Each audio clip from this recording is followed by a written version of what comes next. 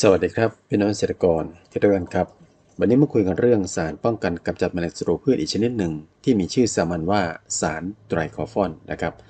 สารไตรคอฟอนเนี่ยพี่น้องเกษตรกรอาจจะไม่ค่อยได้ใช้กันนะครับ แต่โดยหลักๆแล้วในสารตัวนี้ นิยมใช้ในบ้านเราเนี่ยใช้ป้องกันกำจัด แมลงศัตรูพืชที่มีชื่อว่าแมลงวันทองนั่นเองนะครับ ถามว่านอกจากแมลงวันทองใช้กับศัตรูพืชอื่นได้ไหม มีเหมือนกัน เดี๋ยวไปดูในคลิปนี้กันนะครับ ก่อนอื่นนะครับขอเชิญพี่น้องเกษตรกรท่านใดพอมีกำลังทรัพย์บริจาคช่วยเหลือโรงพยาบาลสงฆ์ช่วยเหลือพระภิกษุอาพาธบริจาคช่วยเหลือโรงพยาบาลทั่วไป เช่นมูลที่โรงพยาบาลเด็กมูลที่โรงพยาบาลรามาธิบดี ช่วยเหลือผู้ป่วยยากไร้ผู้ป่วยนาถาที่อยู่ในความรับผิดชอบของโรงพยาบาลเหล่านี้นะครับ ท่านใดประสงค์บริจาคสามารถบริจาคผ่านบัญชีใต้คลิปที่ผมแนบไว้โดยตรงได้เลยนะครับ ท่านใดประสงค์บริจาคผ่านสับมือถือกดดอกจัน984ดอกจัน100สี่เหลี่ยมกดทอง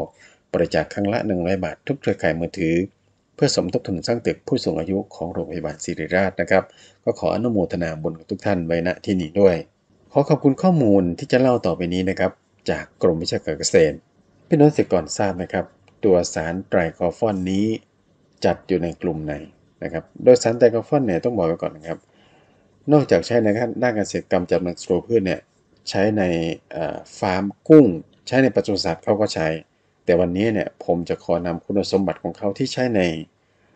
ป้องกันกำจัดแมลงศัตรูพืชเป็นหลักโดยเฉพาะแมลงวันทองนะครับ ไปดูกันว่าสารไตรโคฟอนเนี่ยจัดอยู่ในกลุ่มไหนนะครับ สารไตรโคฟอนจัดอยู่ในกลุ่มหนึ่งนะครับ โดยเวลาฉีดลงไปเนี่ย มันจะไปยับยั้งเอนไซม์อะซิติลโคลินเอสเตอเรสซึ่งเอนไซม์ตัวนี้เป็นตัวทำหน้าที่ในการย่อยสารสื่อประสาทนั่นเองนะครับ เรามาดูกลไกของสารออกฤทธิ์นะครับ ตัวไตรโคฟอนว่าออกฤทธิ์ยังไง ซึ่งซึ่งกลุ่มหนึ่งทุกตัวเนี่ยรวมทั้งไตรคอฟอนด้วยจะออกฤทธิ์แบบเดียวกันนะครับ กลไกการนี้ก็คือสารกลุ่มนี้เวลาพ่นลงไปแล้วเนี่ยจะมีผลต่อระบบประสาท โดยมันจะไปยับยั้งการทำงานของเอนไซม์ที่มีชื่อว่าอะซิติลโคลินเอสเตอเรสซึ่งเอนไซม์ตัวนี้เนี่ย มันจะทำหน้าที่ย่อยสารสื่อประสาทที่มีชื่อว่าอะซิติลโคลินซึ่งสารสื่อประสาทตัวนี้นะครับ มันทำหน้าที่ถ่ายทอดกระแสประสาทนะครับ พอสารตัวนี้มันถูกยับยั้งนะครับ มันเกิดอะไรขึ้นครับ สารสื่อประสาทเนี่ยเอนเอนไซม์มันถูกยับยั้ง แล้วสารสื่อประสาทเนี่ยมันมีปริมาณมากเกินไปนะครับ ส่งผลให้เกิดการถ่ายทอดกระแสประสาทไม่หยุดและมากเกินไปจนทำให้มแมลงตายในที่สุด สรุปง่ายๆ พอพ่นสารนี้ไปเนี่ย มันไปยับยั้งเอนไซม์อะซิติลโคลินเอสเตอเรสซึ่งย่อยสารสื่อประสาทอะซิติลโคลิน แต่เมื่อปัญหาตามมาคือเอนไซม์ตัวนี้ไม่ทำงาน สารสื่อประสาทอะซิติลโคลินมีปริมาณเพิ่มมากขึ้น การส่งกระแสประสาทมีไม่หยุดและมากเกินไป จึงทำให้แมลงเสียชีวิตนั่นเองนะครับ เดี๋ยวเรามารู้จักสารไตรคอฟอนแบบหลักๆ เจาะลึกกัน สารตัวนี้มีคุณสมบัติยังไงบ้าง สารไตรคอฟอนนะครับจัดอยู่ในกลุ่มหนึ่ง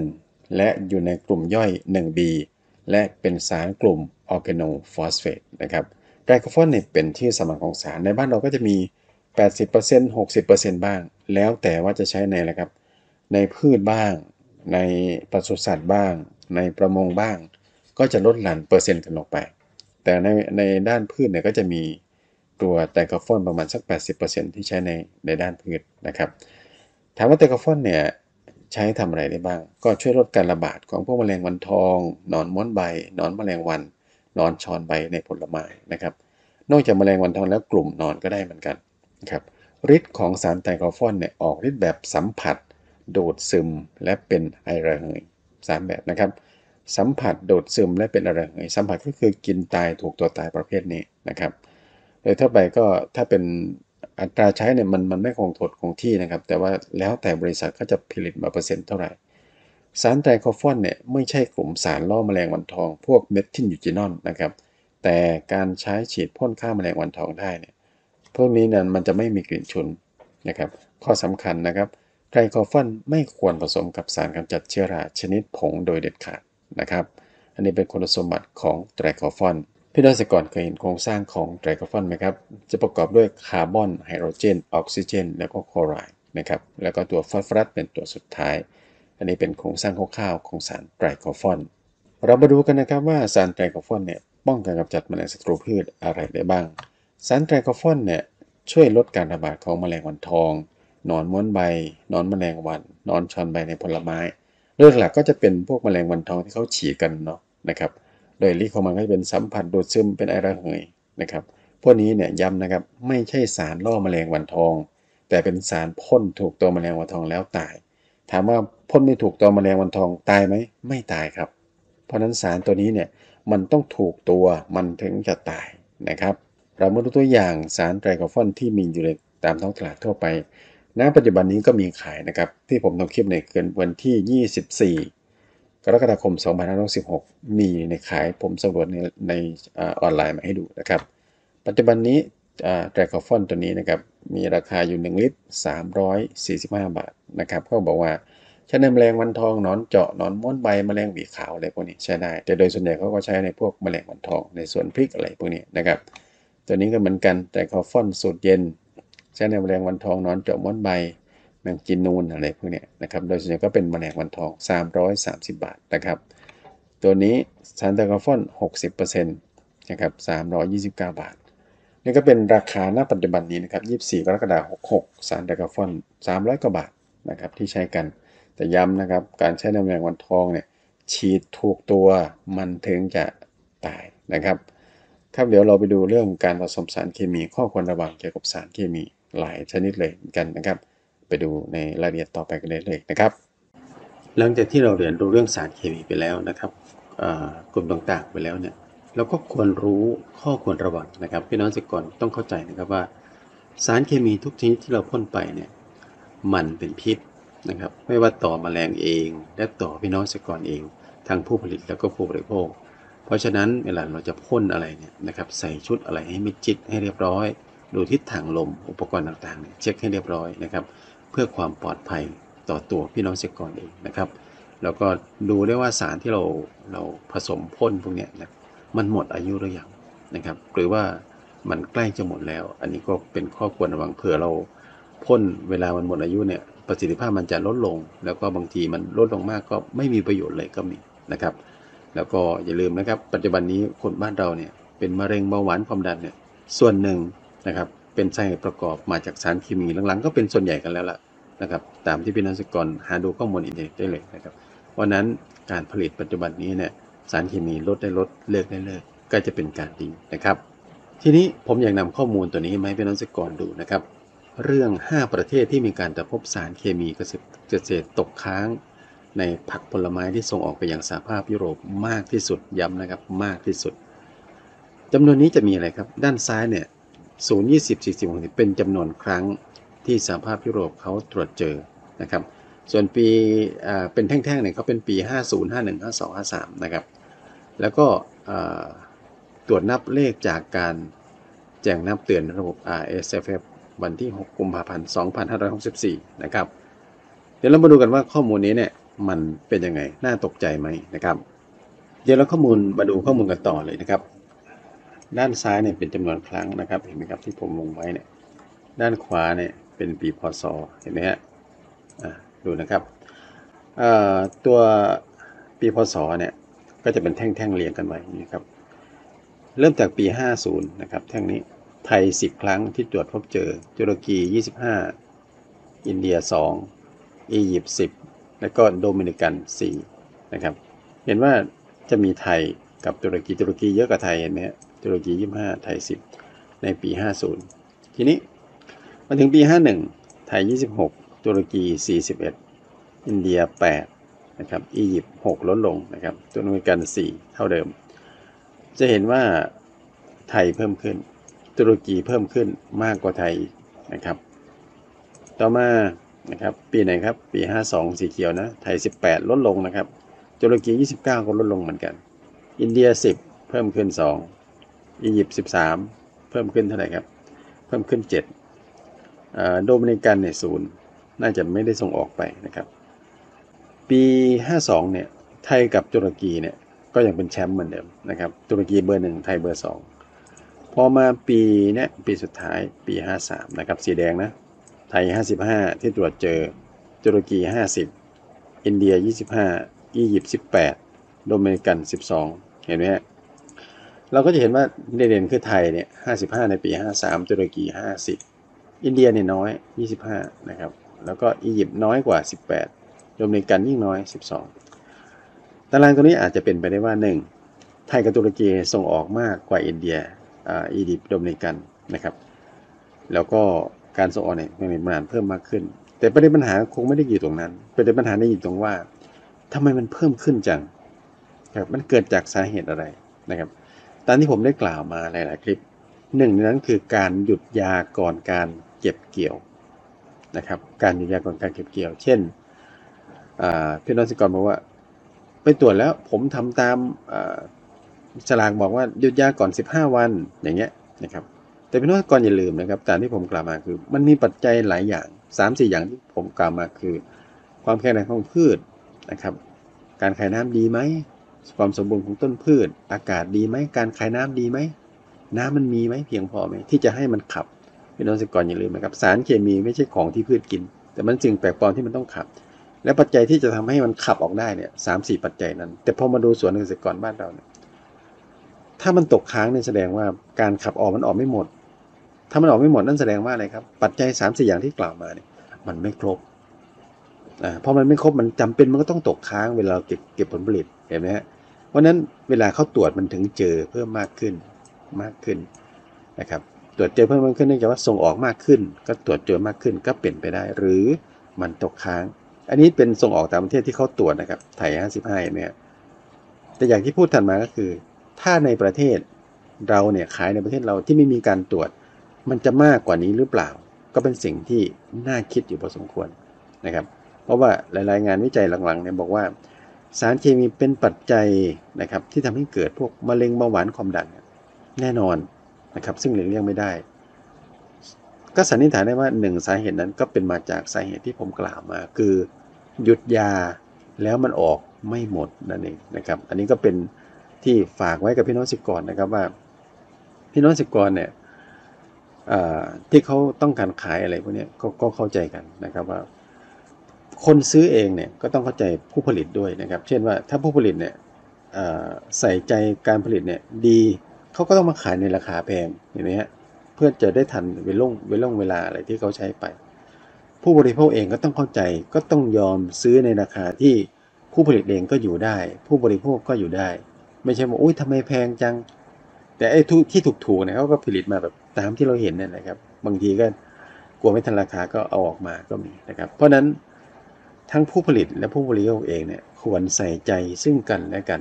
นะครับผู้บริโภคเองก็อย่าไปต่อรองอะไรกับเขา